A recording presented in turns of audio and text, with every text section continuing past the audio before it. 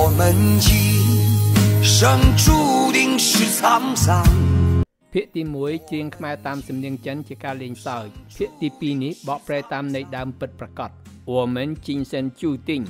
សំនៀងដូចអូនមិនចេញសិនជួយទិញការពិតមានន័យថាយើងជីវិតអំណត់សើឆាងសាងគឺបញ្ហាឃ្លាចិនមួយនេះមានន័យថាជីវិតយើងត្រូវបានកំណត់ពោរពេញទៅដោយបញ្ហា 苦之来，要笑着走过呀。 គូជាឡាយយំពេលកើតទៀវសៀវជើត្រូវខំសោចចូលគួយ៉ាពេលដើរឆ្លងគ្រាចិននេះមានន័យថាកើតមកយំតែត្រូវរស់នៅដោយភាពញញឹម 朋友啊，让我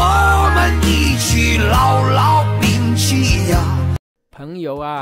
មិត្តទាំងឡាយទាំងវមែនសូមយើងអ៊ីឈីឈីរួមគ្នាឡាវឡាវមីងជីយ៉ាចងចាំជានិរន្តរ៍ 我们今生兄弟情一场。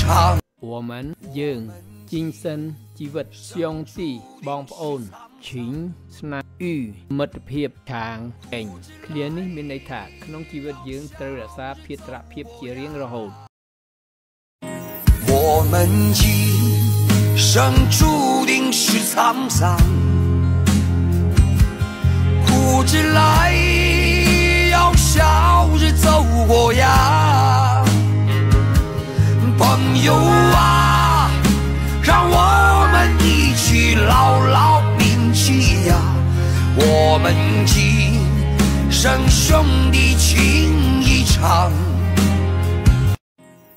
我们今生注定是沧桑。